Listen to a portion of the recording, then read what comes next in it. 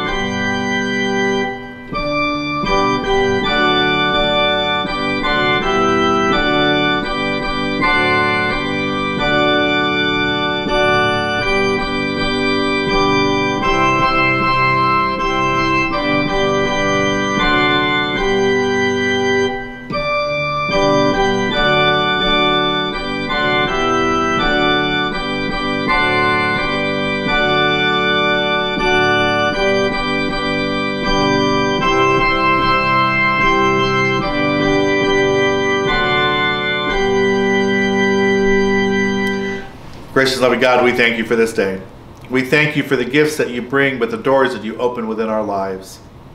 So come and be with us on this day as we come and worship with you and through you, through your Son, Jesus the Christ. Amen. Good morning and welcome to online worship here at Milwaukee Metropolitan Community Church on this wonderful, brisk Sunday morning. If you haven't already done so, I invite you to go to your pantry and maybe get your communion elements so you have them ready for later in the service when we have communion and you can take part in the communion meal. But as we get together on this morning, we continue to worship online, but be with each other through virtual connections. We know that God the Spirit is with us each and every moment. So now, as we continue with worship, I invite you to hear God's Word. The first part of our scripture lesson this morning comes from Proverbs chapter 5, verse 3 through 12, taken from the Inclusive Bible. Don't be like adulterers, like people who break faith with those who trust them. Their lips drip honey, and their words are smoother than oil, but their end is as bitter as wormwood, sharp as a two edged sword. Their feet lead them down to death their steps take the road to the grave. They ignore advice on the road to life, and they wander, lost and uncomprehending. So hear me well, my children, and listen closely. Don't wander from the word of my mouth. Keep your distance from these people. Don't even approach the door to their house, or you'll surrender your integrity to others and your reputation to the merciless. For then strangers will acquire your wealth, and your labors will enrich someone else's household. All you have in the end are your groans when your body and flesh are wasted, and you say, How I hated my lessons, how I hated to be corrected.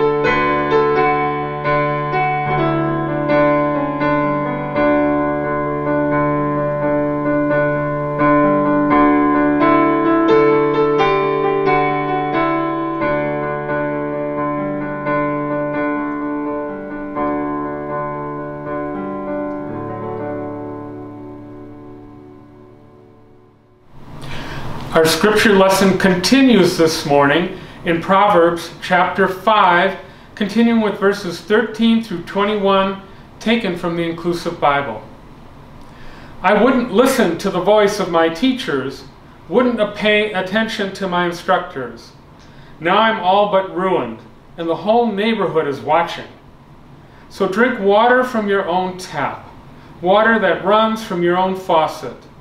And don't let your river flow into the streets or let just anyone drink from your streams. Let them be for yourself alone and not for strangers. May your fountain flow freely to bless both you and your beloved, someone who loves you and fills you with joy. May your affections always fill you with mutual bliss. May you always delight in your love for each other. Why be infatuated, my children, with people who deceive those who trust them? Why embrace a false hearted lover? For our ways are always in Yahweh's sight, and God watches our paths. Hear what the Spirit says today. Thanks be to God. Amen.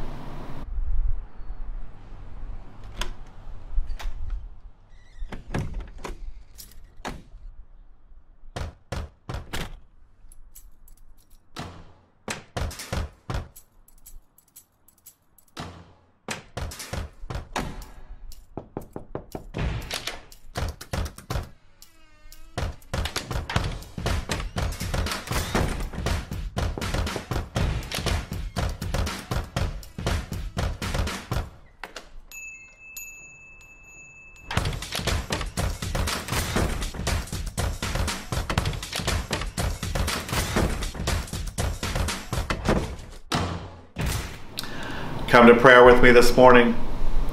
Gracious and loving God, we come to you this morning thanking you for being within us, allowing doors to open for us within our lives, but also thank you, God, for the closed doors. But God, we are grateful that you are a God of open doors, guiding us this morning, knowing when we should go through certain doors in our lives and when we should stay away from those forbidden doors. Allow us to experience the good doors that open of hope and peace, of joy and goodness. I pray that you will come into each of our hearts and souls on this morning as we hear your words. I ask now that you would touch my lips of clay, mold them into the words that need to be spoken this morning, and the words that come from my mouth, along with the meditations on each and every one of our hearts, may they ever be acceptable to you. In Christ we pray. Amen. Here at Milwaukee MCC, we're in the middle of a sermon series called At the Door because the average person makes about 70 decisions a day in their lives, which we've determined is about 2 million decisions over a lifetime. We've also determined over these last few weeks that a great life is also made up of all the decisions we make in our lifetime. Every day that we stand at the door to a decision, another great decision that we would make, the better we're going to be. But that's difficult mainly because the number of decisions we make on a daily basis are so numerous. Now, those are 70 main decisions a day because according to the Google search, it is estimated that the average adult makes about 35,000 remotely conscious decisions each day.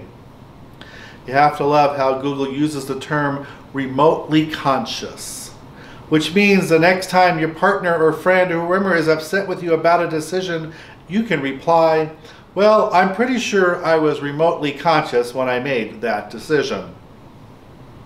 Think about it for a moment 35,000 decisions every day. And that's not even counting if you were going to your favorite restaurant and ordering off the menu then that kind of maybe skyrockets it a little bit even more. No wonder decision making in our lives are so complicated. How do you make 35,000 good decisions every day? Well, first of all, you don't, but second of all, you try to live by this principle.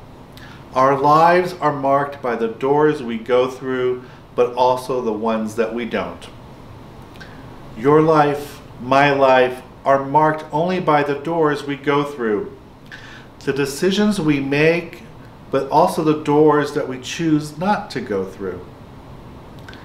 And there are some doors in life that you should never walk through. There are doors in our lives that look fun, they look exciting, but from a distance, you don't know what they are. And as we get a little closer to those particular doors, we realize that it's a trap. For example, you're a teenager or a young adult, or you just want to try that whatever just once. You're just curious what it would be like only if you did it just this one time. Do you know how many of us have said that over the years? It's a trap. Or an addict that says, I'm just going to have one more drink or one more fix. I'm just going to do this one more time. I've got this under control. It's not a problem for me anymore. It's another trap or a red flag. And pretty soon you're sliding back into that addiction. I'm going to ask you all is there a door right now in your life that you can sense that might be a trap? Oftentimes, we'll give you that sense of intuition.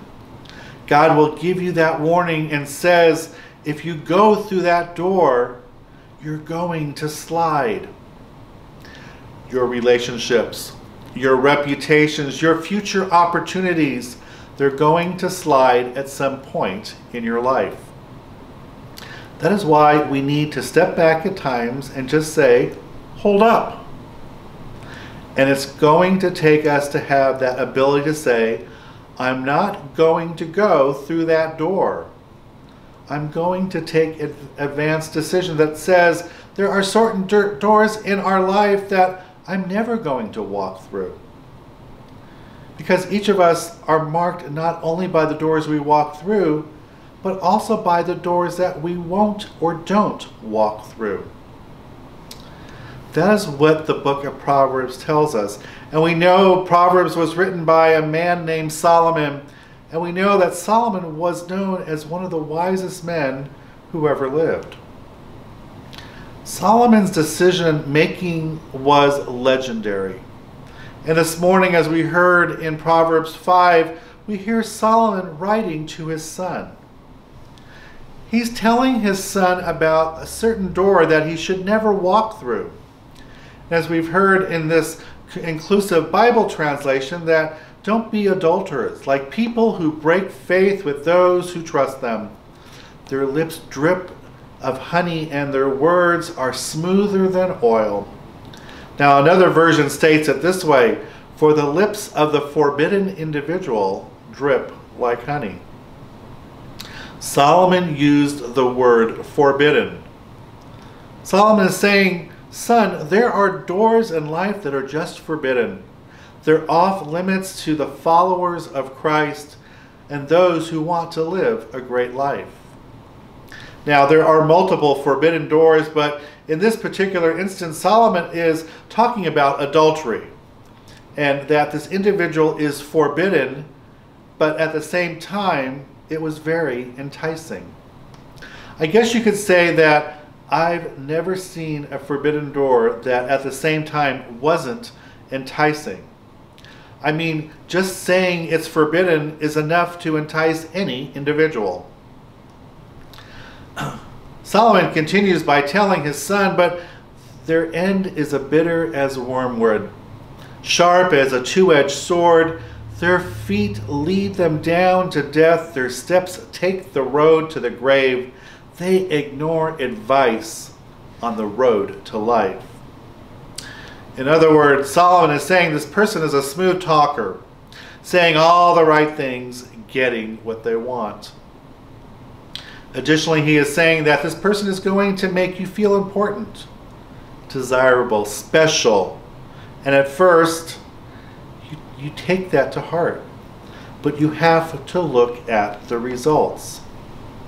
Now, scientific evidence says that when you give to a temptation, your, your brain releases this chemical known as dopamine.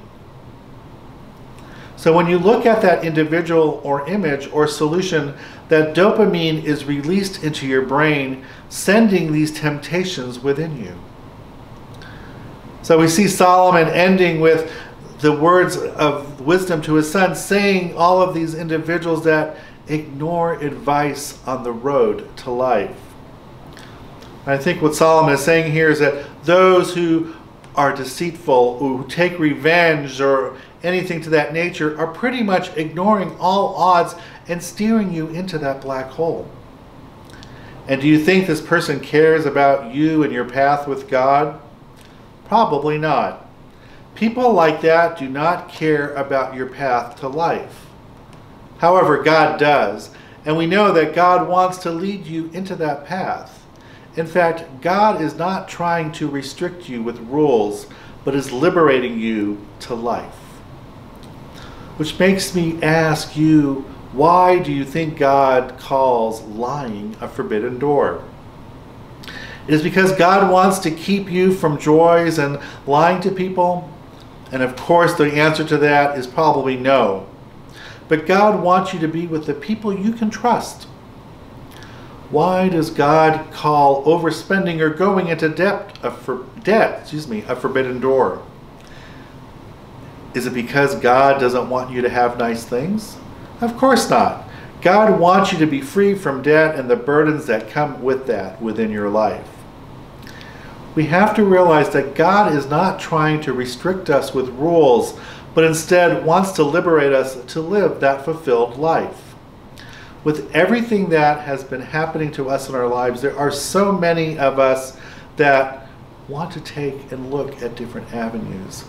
There may be some of you with your hand on that doorknob this morning that there's that forbidden door.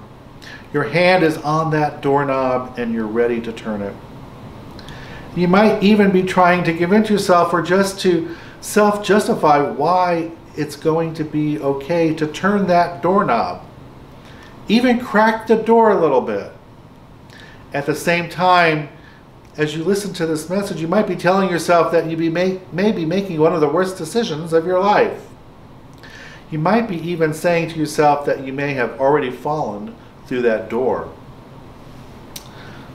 So there are a few ways that you can avoid some of these forbidden doors in your life. And the first one is don't get near. And this is the one of those things that Solomon teaches us is keeping your way from this individual and do not go near the door of their house.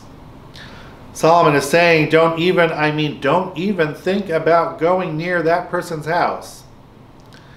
But our nature of habit is to get close to those forbidden doors and maybe to pull back and think that we should pose the question why do you even want to try to get close? Solomon is pretty much telling us we are to drink the water from our own tap, the water that runs from our faucet, and to not to let the river to flow into the streets and just let anyone drink from it. But to let them be for us alone and not for strangers. Solomon says, May your fountain flow freely to bless you and your beloved, someone who you and fills you with joy. So, the second way to avoid some of those forbidden doors is to stay in your own lane. Basically, we're being told to stay in our own lane, to stay focused on the things in our life. Don't drift off track with the things that are in the way. Don't let yourself get distracted from what you're focused on in your life. Especially in the times that we're living in, and more so now, we need to keep our focus on our jobs, our families, whatever we may be working on in our lives, not letting ourselves be sidetracked with the temptations of things telling us otherwise. That last thing that we should never do is never, ever, ever have a never, ever list. We should always have a never ever list in our lives, as Solomon tells us. Solomon's final word to his son is saying, Don't be held captive by your own sins, because they are the ropes that catch and hold us. And if we let that happen, we will be destroyed and put back all the way. How's your discipline these days in your life? Especially in these times of COVID. I can tell you for me personally, I've been trying to eat healthy and not gain any more COVID weight that we've all packed on over these last seven months. It's taken a lot of discipline in my life, especially to get up on those Monday, Wednesdays, and Fridays at 5 a.m. and to get myself down to the gym with a trainer. It's discipline by putting something off today in order to have something tomorrow. I'm going to tell you that discipline just doesn't work that well when you're in the heat of the moment. This is why we need to make advanced decisions, thus, having that never ever list. So, what are some of the things in your life that you would never ever do? Have you ever written those down at some point in your life? What are some of those things that you will never ever do in life? At the same time, there will be some of us that will do some of those never ever things and also wonder, how do I deserve that in my life? Or how do I get back on the right track? I think the best way in wrapping things up this morning was shared in a passage from 1 Corinthians that when you are tempted, God will show you the way so that you will not give into it. Meaning that the next time you start finding yourself with your hand on that doorknob, think about it. Or think about that, what you're doing. So I close by telling you that God shows you a way out to help you refocus on the things in your life because our lives are not only marked by the doors we go through, but by the doors that we don't go through. My continued blessings to each of you this morning, Milwaukee Metropolitan Community Church. Amen. Good morning, everyone. On behalf of the board and the pastor, I want to welcome you all joining the service today.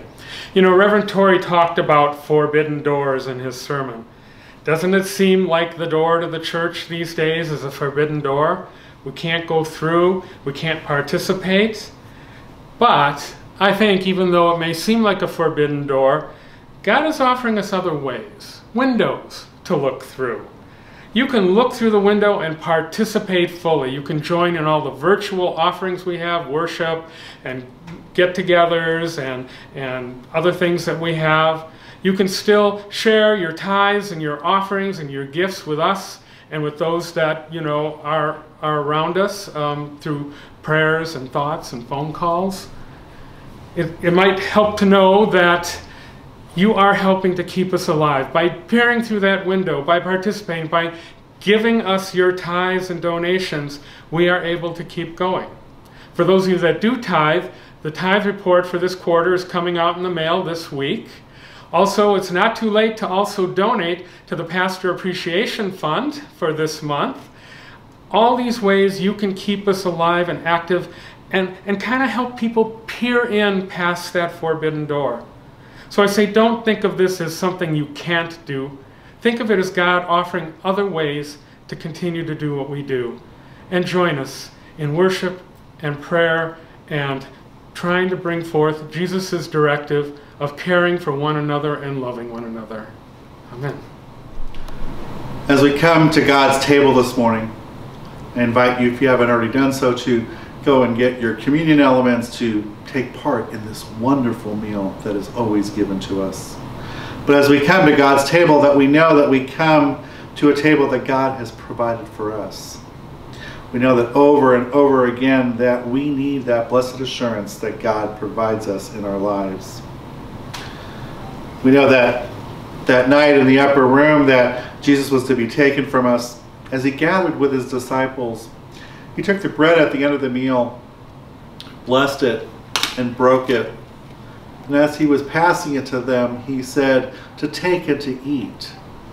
For this is my body that has been given for you, but each and every time that you eat from this meal or eat from this bread, do so in remembrance of me. Likewise, at that same meal, Jesus took the cup from the table and blessed it and said that this is the cup of the new covenant of my life that is poured out for you and for all people for the forgiveness of all sins.